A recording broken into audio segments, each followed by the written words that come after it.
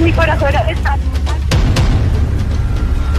el ejercicio del periodismo como algo que se hace desde nuestra condición de seres humanos.